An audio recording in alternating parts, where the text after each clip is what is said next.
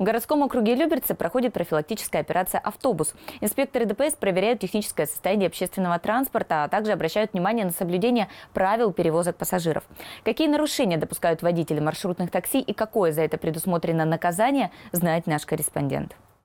Первое, на что обращают внимание сотрудники БДД – внешние световые приборы общественного транспорта. Они должны находиться в исправном состоянии. Затем инспектор требует документы водителя, путевой лист, техосмотр, водительское удостоверение и свидетельство о регистрации транспортного средства. После этого проверяются условия перевозки пассажиров, наличие двух огнетушителей, медицинской аптечки и знака аварийной остановки. За отсутствие этих предметов предусмотрена административная ответственность. Штраф по статье 12.5 части 1 Э, Кодекса Российской Федерации административных правонарушений предусматривает штраф в размере 500 рублей.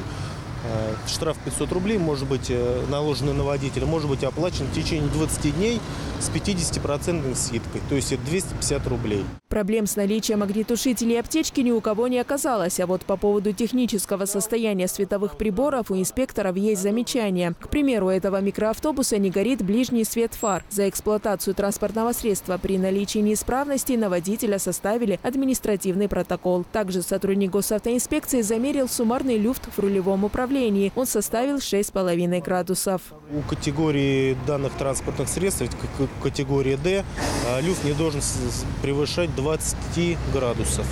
То есть э, там все было в пределах нормы, поэтому за данное нарушение водитель не привлекался. Операция «Автобус» проходит на территории городского округа с 3 августа. Продлится профилактическое мероприятие до 17 числа включительно. Основная цель проводимых рейдов – снижение уровня аварийности на пассажирском транспорте. Луиза Игиазарян, Дмитрий Родзянко, телеканал ЛРТ. Привет! Я Наталья Григорьева. Вы смотрите ЛРТ. Подписывайтесь на наш канал на YouTube, ставьте лайки и всегда будьте в курсе интересных событий.